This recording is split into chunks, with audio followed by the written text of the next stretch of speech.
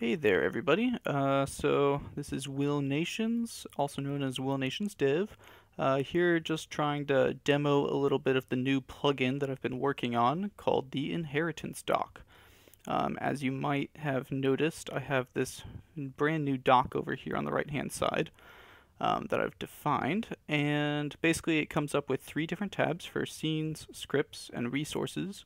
And the intent is just to make it really easy for you to quickly switch between scenes in your project. So I can just double click on these different scenes that I've created and it'll open them up.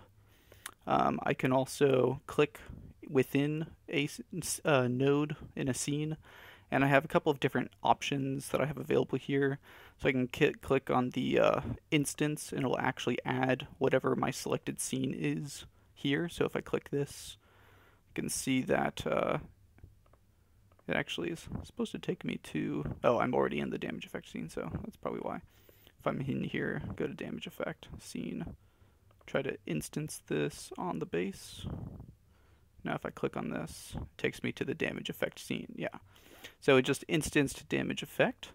Um, and then I can also extend a scene, so if I have damage effect here, and I click on this, like, oh, new damage effect tscn, and I can save this and hit save, and bam, now I have new damage effect listed under my damage effect.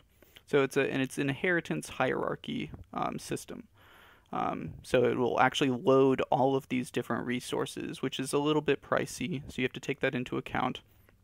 Um, with the size of your projects, this might be getting a little bit slow if you're loading a whole bunch of resources because um, it has to load them in order to determine the inheritance hierarchies. So be a little conscientious of that. Um, and uh, so that's scenes, and I can also, you know, just kind of type in like, oh, damage effect, blah, blah, blah. And I can um, filter it also with custom regex filters. So here I have a hide inheritance dock filter and I've you know defined this whole regex pattern that blocks out the entire directory for Godot inheritance dock. Uh, so it this little check mark tells me that I have a good one. So if I put invalid regex, it lets me know. Um, and then if I toggle it on, I'll see that all my stuff goes away because this is all stuff that's in my Godot inheritance stuff. So if I untoggle this, things return. And uh, the same kind of goes for scripts. I can see all the different scripts that I have in my project. Um, the main reason for this implementation is just that I hated, like, even if I did an add custom type of some sort, um, you know, just clicking on here to find something, all of your scripts don't show up in this list. I can't just see an inheritance hierarchy of my scripts and in my entire project. And this lets me do that. I, I no longer have to, you know, go digging around in the file system. I don't necessarily know where I've put all my stuff, you know, to, to find things. I can just kind of go here. And if I'm looking for a specific thing, I can type it in and I can create custom filters for them. And each of the filters in these lists are different. So if I go to scenes and I add one, say hi, I'm looking for, you know, test stuff, stuff that mentions test. So I can click on this. I don't have anything named test, but you can get the idea. I've added this in here, and I can even save it. So now, if I close and reopen the editor, we'll see that this is still here. But if I go to scripts, and click on this, it's not there. So I have complete customization of whatever filters I want to create for each of these sections. And uh, for the scripts, you'll notice I can add a script to a node.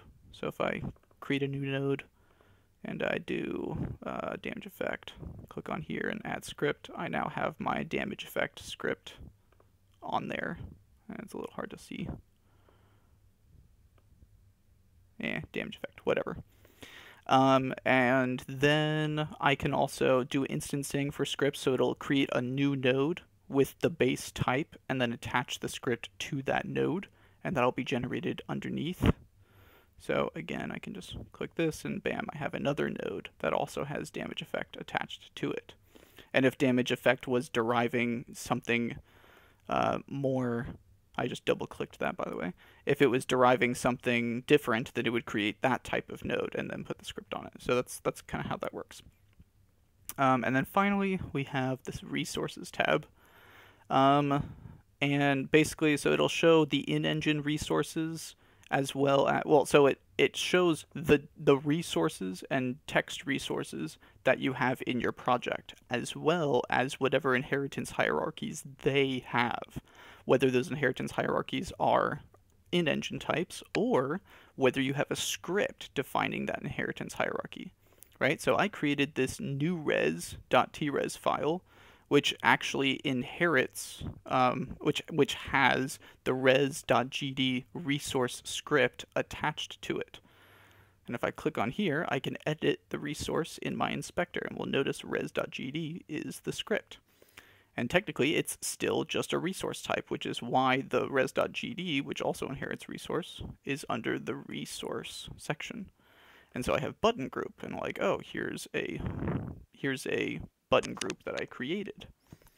This is, you know, in here, and I could create a script for it. Um, but yeah, that's kind of how it goes. And, and I can create new resources from here. Um, if I select a script, then it'll create the base type resource that has the script attached, whatever the base type for the script is. And if I have a base type selected, I can also create a script from there. So really quick and easy, you can create stuff from the editor um, without ever having to dive into the other menus.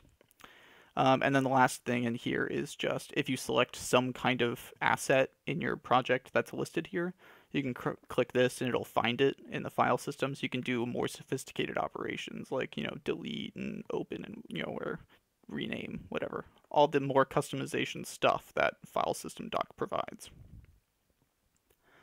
So yeah, that's pretty much it. Um, the code is very shortly, uh, should soon um, be integrated into. Right now, this is all in Godot-Node-Editor, um, and it's in a demo project. I have created another. Sorry, that's under my GitHub.com/slash WillNationsDev profile.